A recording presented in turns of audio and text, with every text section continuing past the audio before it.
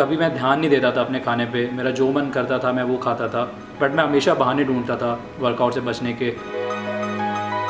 My mother came to me and said that how are you standing तुम्हारा पेट निकल रहा है तुम ठीक से खड़े हो तुम्हारा पेट दिख रहा है. I remember around two years back मैंने अपना बीएमआई चेक भी करवाया था। तो जिसमें जो मेरी एज थी वो मेरी करेंट एज से 10 से 12 साल ज़्यादा थी।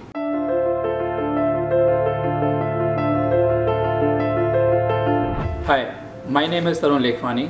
and I am 28 years of age. By profession, I am a software engineer. Basically, I am from Itawa, UP and I am currently working in Malaysia. My highest weight was 86 kgs and currently I am weighing 64 kgs. I have reduced 22 kgs of weight in a span of 1.5 years.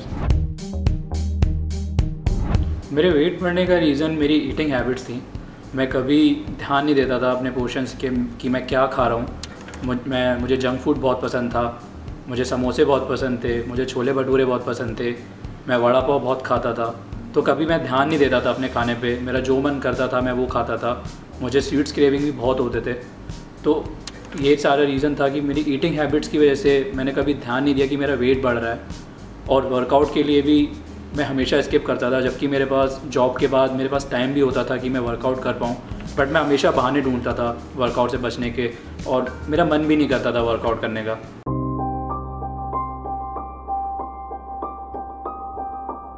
जैसे जैसे मेरा wait बढ़ रहा था, मैं बहुत सारे issues भी फेस करने लगा था।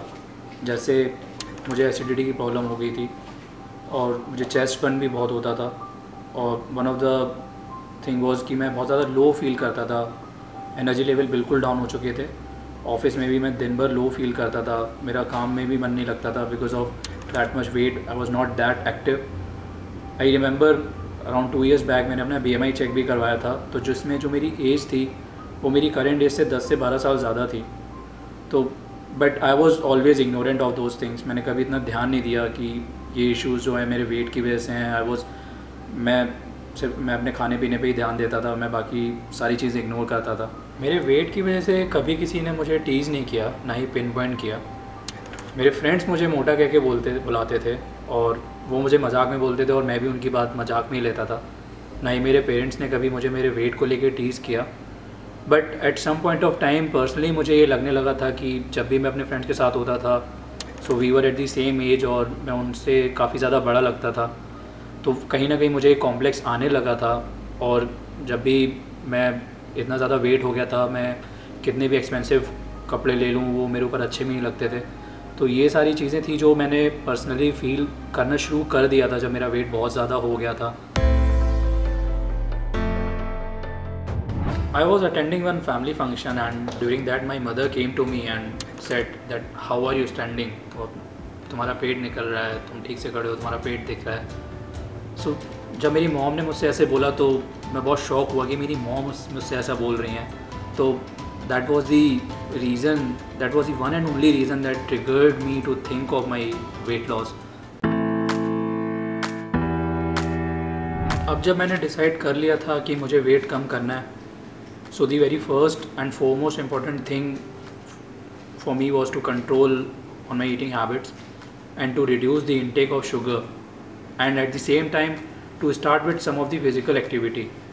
So initially मैंने जिम में कार्डियो से स्टार्ट किया cardio and elliptical cardio and cycling से शुरुआत किया सो so दैट मैं थोड़ा सा स्टेमिना एंड स्ट्रेंथ बिल्ड कर पाऊँ और फिर उसके बाद मैं वेट ट्रेनिंग पे मूव हुआ।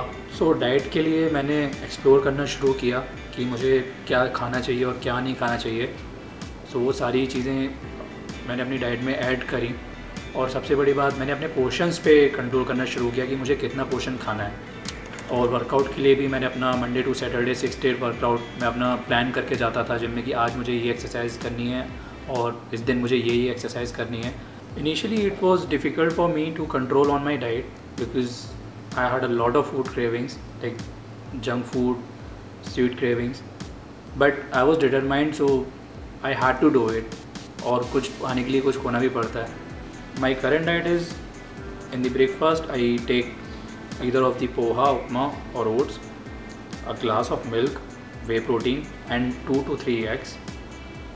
And in the lunch, I take paneer, a bowl of rice or 2 to 3 chapatis, curd and green vegetables.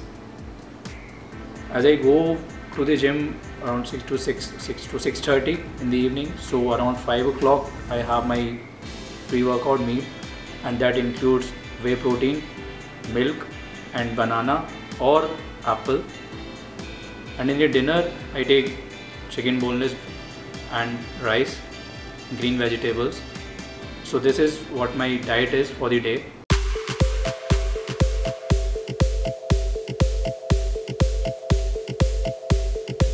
For workout, I follow 6 days workout and on Monday I do exercises for back, shoulder and biceps.